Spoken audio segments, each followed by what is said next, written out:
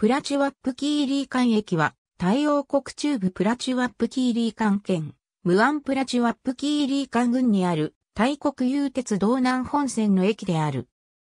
プラチュワップキーリーカン駅は、タイ王国南部、プラチュワップキーリーカン県の県庁所在地であり、人口9万人が暮らす、ムアンプラチュワップキーリーカン郡にある。町の中心部に位置するため、利便性が良い。駅の正面側が市街地である。1日に22本の列車が発着する。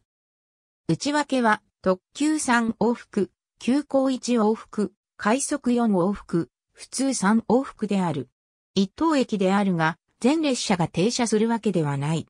当駅に発着するバンコク発着の優等列車は、すべてクルンテープ駅発着であり、その乗車距離は 318.38km であり、特急列車利用で4時間30分程度である。当駅より隣国、ミャンマーまで 20km、リゾート海岸まで 600m と近距離のため訪れる観光客が多い。大国有鉄道南本線の本格的な工事は北側1カ所、南側2カ所の3カ所より開始された。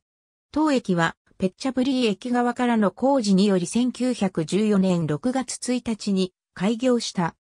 この時点では終着駅であったが、その1年6ヶ月後の1915年12月1日にバーンクルット駅までの延伸開業により、当駅は中間駅となった。単式及び島式一面の複合型ホーム2面2線を持つ地上駅であり、駅舎はホームに面している。ありがとうございます。